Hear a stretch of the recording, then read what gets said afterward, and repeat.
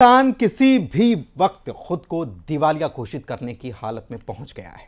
नया bail out package देने के लिए आईएमएफ की जो टीम इस्लामाबाद पहुँची थी, वो बेरंग वापस लौट गई। पाकिस्तान को आईएमएफ ने छह शर्तें मानने के लिए कहा।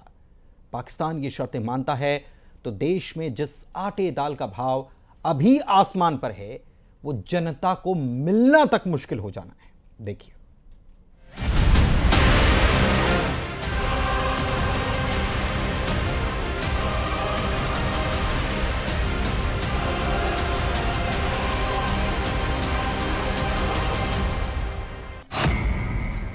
गिड़गिड़ाते रह गए पाकिस्तान के प्रधानमंत्री शहबाज शरीफ।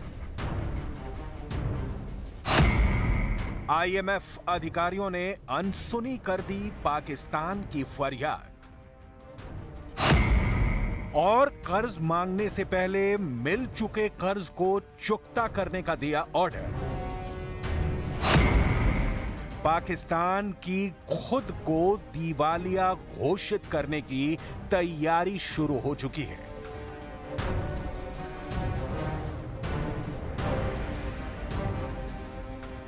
एक हफ़्ता, दो हफ़्ता, तीन, चार या पाँच हफ़्ता, ज़्यादा से ज़्यादा हुआ तो महीने भर। माने जुलाई तक पाकिस्तान कंगालों की उस लिस्ट में शुमार हो जाएगा, जिसके पास दिवालिया घोषित होने के अलावा कोई विकल्प नहीं बचेगा। साल दर साल की गरीबी ने पाकिस्तान को गर्त में धकेल दिया है।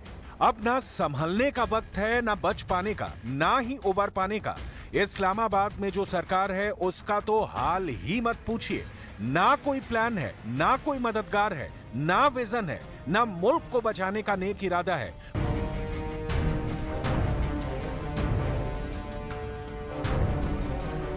पाकिस्तान पहले से लिए कर्ज की मार से करा रहा है। कर्ज लौटाने की बात तो जाने दीजिए। उसका सूद चुकाने का पैसा भी पाकिस्तान के खजाने में नहीं बचा है। देश का ऐसा कोई सेक्टर नहीं है जो बंदी के कगार पर नहीं है। सरकार किसी तरह से दुनिया के बड़े बड़े आर्थिक संसाधनों से कर्ज लेकर अब तक अर्थव्यवस्था की गाड़ी खींच रही थी। लेकिन कर्ज देने वालों ने साफ़ इनकार कर दिया है। आईएमएफ ने पाकिस्तान को ऐसे समय में झटका दिया है जब महँगाई सिर चढ़कर बोल रही है। आटा चावल से लेकर रसोई गैस तक आम लोगों की पहुँच से दूर होते जा रहे हैं। पाकिस्तान के कब्जे वाले कश्मीर के साथ ही देश के दूसरे हिस्सों में महँगाई के विरोध में और सरकार के निकम्मेपन को लेकर हिंसक विरोध प्रदर्शन हो रहे हैं। शहबाज शरीफ की सरकार के पास और कर्ज मांगने के अलावा कोई दूसरा रास्ता नहीं बचा है। आईएमएफ ने कर्ज के लिए पाकिस्तान के सामने छह शर्तें रखी हैं। रेवेन्यू जनरेशन के लिए टैक्स सिस्टम में सुधार, सामाजिक सुरक्षा और जलवायु सुधार के लिए नीति, ऊर्जा क्षेत्र में सुधार ताकि कीमतों को कम किया जा सके।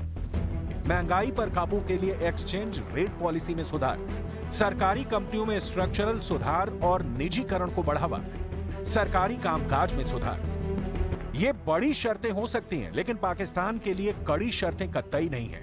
आईएमएफ ने इसके पहले भी पाकिस्तान को कर्ज देने के लिए ऐसी ही शर्तें रखी थी, जिसका खामियाजा अभी पाकिस्तान को भुगतना पड़ रहा है। और अब नई शर्तें। पिछले साल आईएमएफ ने जो बेल आउट पैकेज दिया था, उसमें जो शर्तें रखी गई थी, उसे देख लीजिए। आईएमएफ ने हर तरह की सब्सिडी खत्म करने पेट्रोल, डीजल और बिजली की दरें बढ़ाने, टैक्स कलेक्शन में 10 फ़ीसदी तक इजाफा करने जैसी शर्तें लगाई थी। पाकिस्तान सरकार ने सारी शर्तें मानी, जिसका नतीजा हुआ कि जनता पर बोझ बढ़ता चला गया।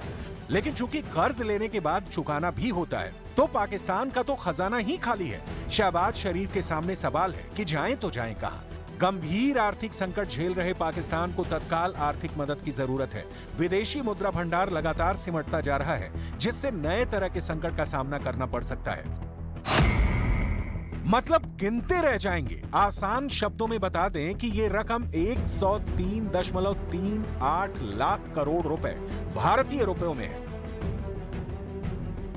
ये पाकिस्तान पर विदेशी कर्ज बकाया है। पाकिस्तान कहाँ से चुकाएगा इसे? समझने के लिए किसी भी अर्थशास्त्री को रॉकेट साइंस का ज्ञान होना ज़रूरी है। जैसे पाकिस्तान जो चीज़ एक्सपोर्ट करता है, उसमें सबसे बड़ी मात्रा है टेक्सटाइल उद्योग की। और इसका हाल यह है कि यह बंद हो रहा है, क्योंकि सरकार बिजली पर इतना टैक्स बढ़ा चुकी है कि व्यापारियों की कमर टूट चुकी है। सवाल है, फिर पाकिस्तान क्या कर्ज के जाल में उलझकर दम तोड़ देगा? चीन पाकिस्तान का अंतिम विकल्प है, जिसके सामने शहबाज शरीफ कटोरा लेकर कभी भी प्रकट हो सकते हैं। चीन कई सारे प्रोजेक्ट पाकिस्तान में चला रहा है, जिसका फ़ायदा चीन को होना है।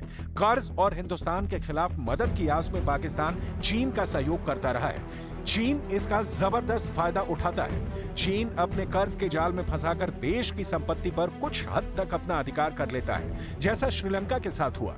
पाकिस्तान के साथ ही कुछ ऐसा ही होने की आशंका पैदा हो गई है।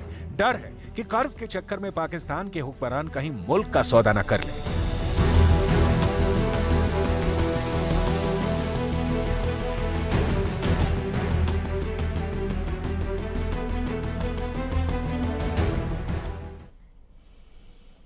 और इसी के साथ इस बुलेटिन में फ़िलहाल के लिए बस इतना ही। खबरों का सिलसिला आगे भी जारी है। आप बने रहिए।